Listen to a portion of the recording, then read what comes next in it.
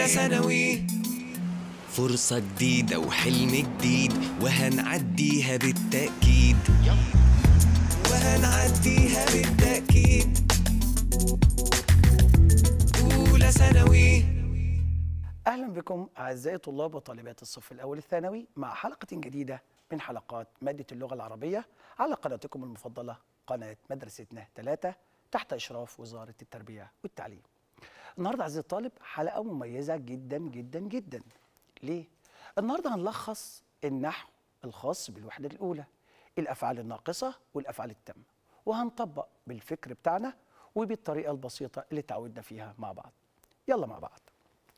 النهارده عزيزي الطالب هنتكلم عن الأفعال الناقصة والتامة المعادلة في النحو الجدول اللي قدامك ده عايزك تحفظه ليه عايزك تحفظه لأن هو فكرة النحو كله قايم أو خاصة بيه كان وأخواتها الناقصة والتامة أو كده وأخواتها قايم على فكرة النحو قايم على فكرة عزيزي الطالب. فأنت لو فهمت الفكرة هتعرف تطبق كويس جدا. طب الفكرة اللي أنا جايبها لك النهارده بتقول إيه؟ بتقول لي إن كان الناقصة بتدخل على الجملة الإسمية. يبقى أنا عندي مبتدأ وخبر. فأنا عندي المبتدأ بيكون مرفوع والخبر بيكون مرفوع. طيب لو أنا قلت الفعل الناقص اللي هو كان وأخواتها اللي إحنا درسناه قبل كده يدخل على الجملة الإسمية هتقول لي يرفع المبتدأ ويسمى اسمه وينصب الخبر ويسمى خبره. طيب لو أنا حذفت كان الناقصة هيبقى عندي في جملة اسمية تاني. يبقى أول حاجة هعملها إن أنا هحذف كان وأقرأ الجملة. وجدت مبتدأ وخبر تبقى كان هنا ناقص. سهل جدا وبسيط مفيش فيها مشكلة. خلاص؟ طب نأتي لكان التامة. لو حذفت كان لا أجد جملة اسمية. ببساطة شديده جدا. يعني اللي بعد كان هيعرب إيه؟ فاعل أو مفعول. وتكون كان بمعنى حصل أو تحقق أو بقي أو ترك. ولا توجد جملة إيه؟ اسمية. المثال اللي معايا أصبحنا وأصبح الملك لله. أصبحنا متصل بها ضمير. هحذف أصبح. الطالب لما يحذف أصبح يجد نا. طيب نا هنا عندي. بتديني جملة اسمية مبتدأ وخبر؟ لا. يبقى على طول الطالب يقول لي دي كان الإيه؟ التامة. يعني أصبح هنا تامة. طيب وأصبح الملك لله. احذف أصبح تقول الملك لله. جملة ها؟ لها معنى. جملة اسمية مبتدأ وايه وخبر. الطالب أيضا هيقول على طول هنا أصبح ناقصه يبقى سهل جدا في كان واخواتها التامه والناقصه أعمل إيه؟ أبسط حاجة. أحذف الفعل الناقص أو التام وأقرأ الجملة. وجدت جملة اسمية مبتدأ وخبر يبقى ناقص. طب ما فيش مبتدأ وخبر؟ هتقولي على طول تام على طول. ما فيش فيها أي مشكلة خالص.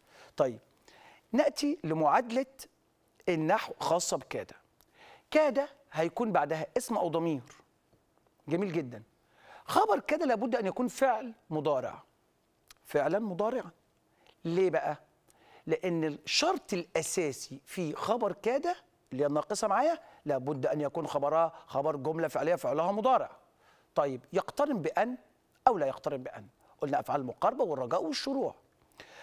لاحظ معايا الأمثلة التالية. يبدأ الطالب يتعلم. واحدة واحدة بقى مع بعض. يبدأ. دي فعل من أفعال الشروع. إحنا قلنا بدأ وشرع وأنشأ وطفق وهب وجعل. طيب جاء يبدأ. أفعال الشروع لها شروط. الشرط أنها تأتي بصيغة الماضي. طب بدأ هنا بصيغة الماضي. لا دي يبدأ. جاءت بصيغة المضارع. على طول احذفها خلاص ده بقى فعل تام وليس بناقص. طيب يبدأ الطالب. هيقول لي الطالب هنا فاعل ليه؟ لأنها فعل إيه؟ تام. يتعلم. الطالب هيقول لي الجمل وأشباه الجمل ها بعد النكرات صفات وبعد المعارف أحوال. هي جملة فعلية فعل تام. طب يتعلم قبلها نكرة ولا معرفة؟ الطالب هيقول لي قبلها. معرفة. يبقى الجملة الفعلية في محل نصب حال. طيب يبقى على طول هتقول لي بدأ هنا ليست بفعل ناقص والطالب فاعل وكما قلنا الاعراب يتعلم. طب بدأ الطالب التعلم. بدأ. جاءت بصيغة الماضي الشرط الأولاني خلاص جميل جدا الشرط الأولاني خلص. قول معايا خليك معايا واحدة واحدة.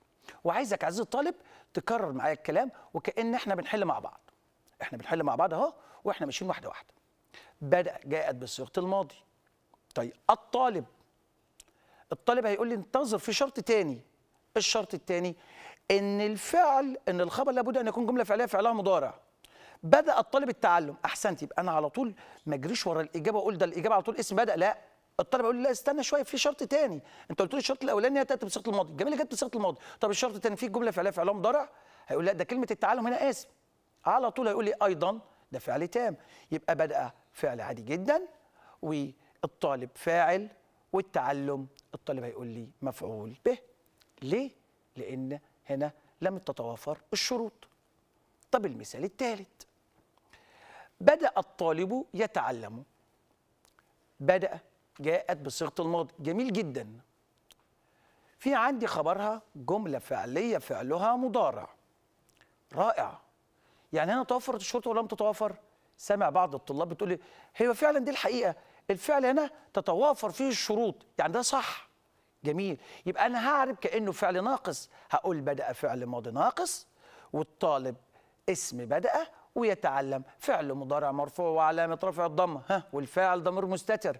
والجملة الفعلية في محل نصب خبر. بدأ. يبقى واحدة واحدة مع بعض. الشروط عندي خاصة في أفعال الشروع يا شباب لأن بعض الطلاب بتخطئ في أفعال الشروع. بتفتكر شرط وبتنسى الشرط التاني. يقول لك بدل في فعل مضارع خلاص. جملة فعلية خبرها فعل مضارع يبقى ده بدا الايه الناقص لا أنا عندي شرطين. الشرط الأول بيقول لي إن بدأ تأتي بصيغه الماضي الشرط الثاني إن بدأ لابد أن يكون خبرها خبر جملة فعلية فعلها مضارع غير مقترن بأن. جميل جدا. طيب يلا بينا نطبق على السبورة مع بعض ونشوف أهم النقاط الخاصة بالأسئلة. أهم حاجة في شرح النحو يا شباب التطبيق. أهم حاجة عندي التطبيق. واحدة واحدة وهنبدا نحل مع بعض وحضرتك كأنك أنت بتساعدني وإحنا بنحل. أنت كأنك واقف مكاني وأنت عايزك تتخيل أنت اللي واقف مكاني وأنت بتحل. هسيب لك فرصة كمان إنك تحل وتجاوب على الأسئلة. عسى الساعين في الخير موفقون. بدأ لي بعسى. يلا نتكلم مع بعض كده شوية. بدأ لي بيه يا شباب بعسى. ها أول حاجة تاني حاجة هيكون بعدها اسم مرفوع. اسم إيه يا شباب؟ مرفوع. يبقى أول حاجة عسى من أفعال الرجاء. زائد المعادلة بتاعتي ان زائد فعل مضارع. الطالب هيقول لي بدل سبق بان فعل مضارع هيكون إيه؟ جميل جدا. منصوب. أحسنت. طيب. عندي عسى الساعين. الطالب هيقول على طول نحذفها. ليه؟ لأنها جت في حالة النصب. فيقول لي خطأ الساعين. أمال أختار إيه؟ الساعون. يعني اذا أول حاجة أنا هعملها هستبعد أهو كطالب هستبعد الإجابة رقم د لأن عندي الساعين.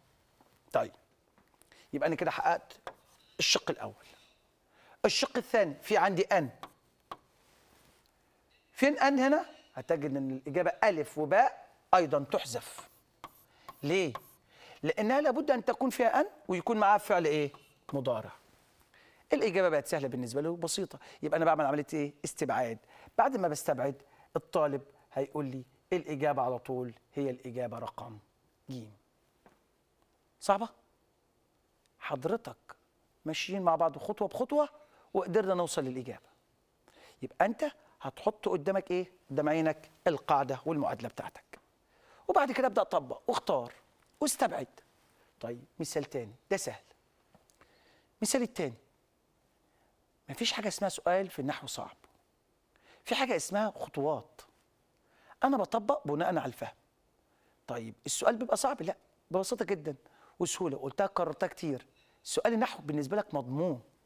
عايز الطالب لازم تكون ضامن سؤال النحو وأنت داخل الامتحان. من خلال إيه؟ الفكرة. النحو فكرة. السؤال الثاني بيقول ليت الفائقين مكرمون. ميز التغيير لو ضغطت كلمة عسى. ده أنا لسه قايلها منذ قليل. لسه قايل المثال ده بالظبط. هحتاج إن أكرره تاني؟ لا. يلا طبق أنت. هيقول لي هنحط عسى مكان ليت. يبقى أنا هحذف. أهو بعمل كده أهو. أهو بعمل كده على طول. ها مكرمون.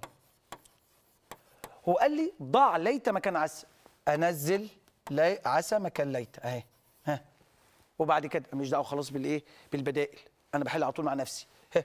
الفائقين هتقول لي دي لازم تكون مرفوع. الطالب هيقول لي بدل مرفوع هتبقى الفائقون. جميل. هيقول لي في هنا تنزل أن. أهو أن. أن إيه؟ يكرم. يبقى أن يكرم. فعل مضارع. منصوب بإيه؟ بحذف النون.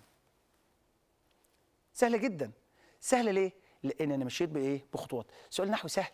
يبقى على طول الإجابة الطالب هيقول لي الإجابة باء. سهلة جدا. أنت اللي قلت. أنت اللي مشيت حسب الخطوات. وأنت اللي جاوبت. طيب مثال تاني. قلت لك قبل كده المثال ده من اللي فاكر معايا؟ جميل. هيقول لي في الحلقة الأولى وإحنا بندرس الفعل الناقص قلت لك لو وجدت شبه جملة اعد بناء الجملة مرة تانية. طلع لي المبتدأ والخبر. طيب يلا مع بعض. أضحى للعدل رجال مخلصون يزودون عنه. خلينا واحدة واحدة بقى. أضحى فعل ناقص. يعني إيه فعل ناقص؟ يعني لو حذفتها أجد جملة اسمية مبتدأ وخبر. وطلع عندي بعدها كلمة للعدل. العدل ده جر ومجرور. أنا قلت لك لو وجدت جار ومجرور أو ظرف اللي إحنا بنسميه كله على بعضه شبه جملة. ووجدت اسم. هتعمل لي تقديم وتأخير. والاسم ده هيكون نكر. لأن في عندي واجب التأخير وجائز.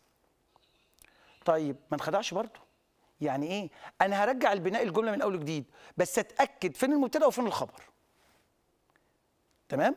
طيب لو أنا حذفت قلت للعدل رجال مخلصون الطلبه يقول لك كلمة مخلصون هنا نعت يبقى هحذفه. للعدل رجال هنعمل إيه؟ هنعمل عملية تقديم وتأخير. الطالب يقول لي رجال للعدل. في الحالة دي بقى ها فين اسم أضحى؟ الطالب هيقول لي رجال. وجاءت في حالة الرفع هنا حتى هنقول مرفوعة واسم الفعل الناقص مرفوع. طيب فين الخبر؟ هتقول لي للعدل شبه الجملة. صعبة؟ سهلة. ذكرت المثال ده قبل كده. يبقى الإجابة رقم د طيب. ميز الجملة التي تحتوي على فعل ناقص. لو قال لي فعل ناقص على طول كلمة فعل ناقص هنا لكان الناقصة أو كاد الناقصه خلاص؟ طيب. عندك المعادلة اللي قلتها لك قبل كده في بداية الايه؟ الحصه أنشأت. عندي اسم. جميل. الدولة مدارس عديدة. مدارس دي ليست بفعل مضارع. خلاص أحذف. ليه هحذف؟ لأن إحنا قلنا أفعال الشروع أو كاد الناقصة اسم أو ضمير زائد أن أو عدم اقتران بأن وبعد كده أقول فعل مضارع. يبقى إذا ما فيش عندي فعل مضارع. طيب المثال الأول زي المثال الثاني هحذف. ليه؟ أجيالا. طيب نأتي المثال الثالث أنشأ الأمن ينتشر في العالم. عندي أنشأة. عندي اسم. عندي فعل مضارع. على طول الطالب يقول دي الإجابة. خلاص؟ طب نتأكد من الإجابة؟ رقم د الإجابة رقم د أيضا كلمة قصرا مش فعل مضارع. يبقى على طول الإجابة الصحيحة. هتقول لي هي جيم. تمام يا شباب؟ أنا بحل معاك واحدة واحدة. أسئلة سهلة وبسيطة. الأسئلة دي أسئلة امتحانات. يعني الطالب ما يخافش. الأسئلة ديت أسئلة امتحانات الوزارة. طيب مثال تاني. لم يكد المسافر يغادر وطنه حتى أنشأ فؤاده يخفق. أنشأ مين؟ فؤاده يخفق. بالحنين. ميز من الآتي حكم اقتران الفعل أنشأ بأن. طيب الفعل عندي أنشأ وعندي فؤاده. طيب أنشأه. زائد اسم اللي هو فؤاده.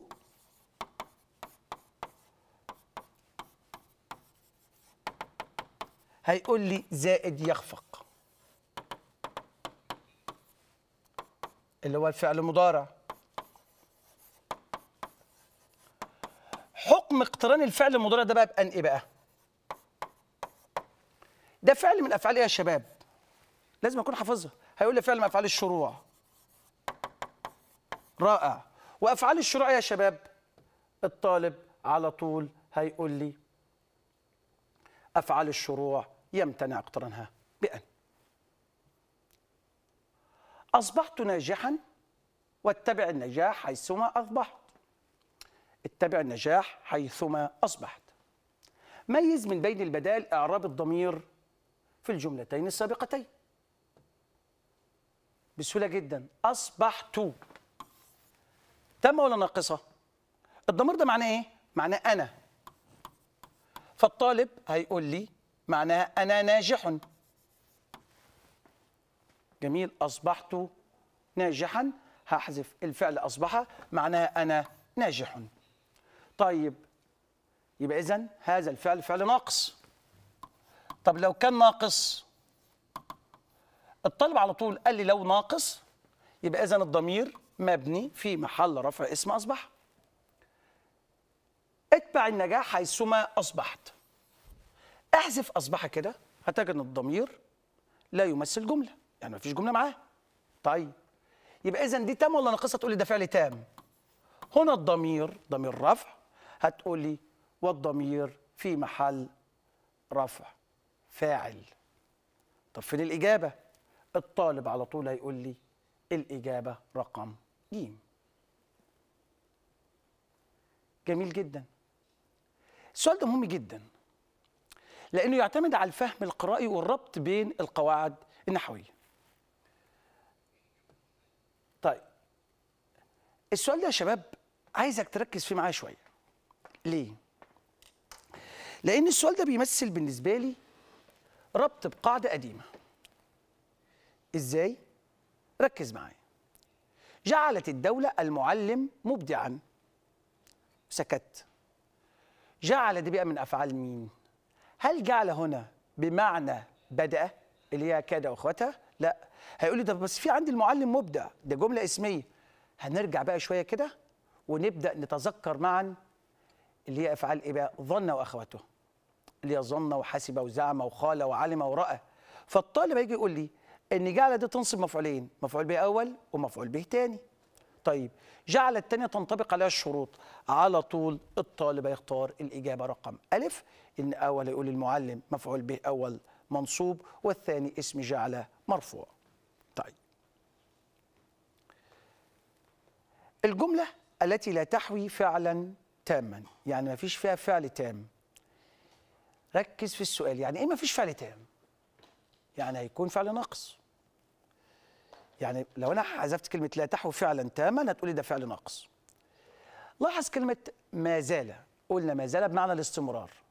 وما زال لو جبت المضارع بتاعها هيبقى ما يزال. طيب وليست بمعنى الزوال. طيب هيقول لي ما يزال. وكلمة ما زال لابد أن تسبق بنفي.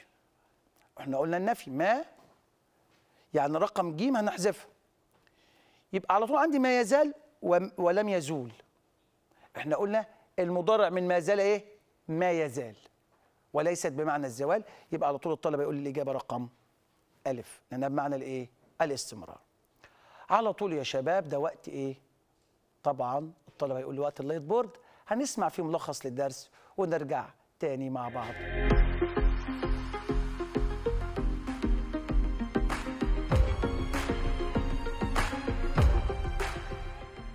اتكلمنا عزيزي الطالب في هذه الحلقة عن الأفعال الناقصة. يبقى أنا عندي الخلاصة بتتكلم عن الأفعال الناقصة والتامة. عندي ركز معايا كاد وأخواتها وكان وأخواتها. يبقى عندي كان وعندي كاد. المعادلة بتقول لي إيه؟ المعادلة مهمة جدا عزيزي الطالب. بتقول لي لو كان دي ناقصة أو كان تامة يبقى عندي كان الناقصة وكانت تامة. كان الناقصة تدخل على الجملة الإسمية يعني أنا عندي مبتدأ وخبر. عندي المبتدأ وعندي الخبر. وقلنا المبتدأ مرفوع والخبر مرفوع. تدخل كان الناقصة على الجملة الإسمية. ها هترفع المبتدأ يسمى اسم كان مرفوع. وتنصب الخبر خبر كان هيكون منصوب. طيب لو أنا عملت سهم كده هقول لك إن الجملة الإسمية بيدخل عليها كانت تدخل على الجملة الإسمية. ترفع المبتدأ وتنصب الخبر. طب لو أنا عايز أتأكد إن كان دي ناقصة هعكس السهم. يبقى أنا لو حذفت كان هنا الناقصة هترجع لي الجملة تاني مبتدأ وخبر. طيب كانت تامه كانت تامه فعل عادي جدا. كانت تامه بعدها يكون فاعل أو مفعول والمعنى هيكون اتغير. مثال أصبحنا وأصبح الملك لله. عزيزي الطالب أصبحنا عندي أصبح وعندي أصبح. لو حذفت الفعل أصبح هجد النا. يبقى اذا ما عنديش جملة هنا ما فيش عندي جملة اسمية مبتدأ وخبر. يبقى اذا هنا الضمير مبني في محل رفع فاعل طب أصبح الملك لله لو أنا حذفت أجد الملك لله يعني جملة اسمية يبقى اذا هنا اصبح هتكون إيه؟ ناقصة وفي الشق الأول أصبح هتكون تامة.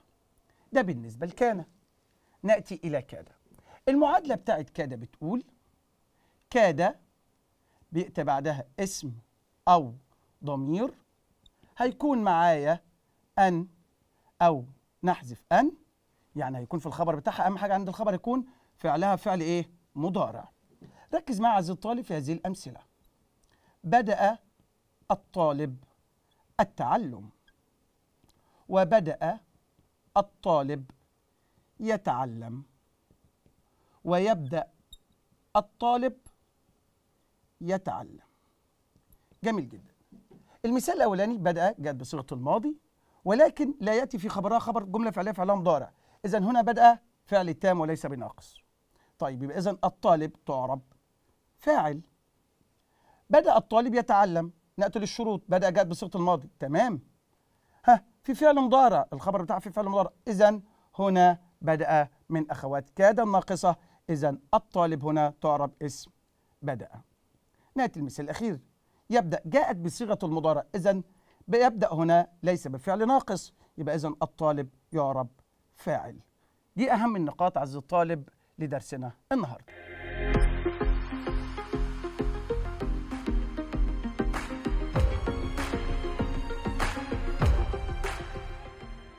بعد ما سمعنا يا شباب الخلاصة عاوز منك ومن الطالب والطالبة أول حاجة النحو فكرة إحنا اتكلمنا عن إيه؟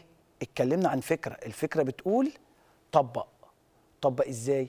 إن كان الناقصة أحذف كان أجد المبتدأ والخبر لو لم أجد المبتدأ والخبر أعمل إيه؟ يبقى ده كانت تامة خلاص الفكرة الثانية المعادلة بتاعتي بتقول إيه؟ كاد زائد اسم أو ضمير زائد أن أو ما فيش أن أهم حاجة عندي فعل مضارع ده الخبر بتاعي يكون فيه فعل إيه؟ مضارع طبق وابدأ حط قدامك المعادلة وابدأ حل كتير ومنتظر أسئلتكم وأي استفسار معاكم لحظة بلحظة على قناتكم المفضلة قناة مدرستنا ثلاثة تحت أشراف وزارة التربية والتعليم إلى هنا أعزائي الطلاب نكون قد وصلنا إلى هذه الحلقة مع وعد بلقاء آخر. دمتم في رعاية الله وأمنه. والسلام الله عليكم ورحمته وبركاته. أولى ثانوي. فرصة جديدة وحلم جديد وهنعديها بالتأكيد. وهنعديها بالتأكيد. أولى ثانوي.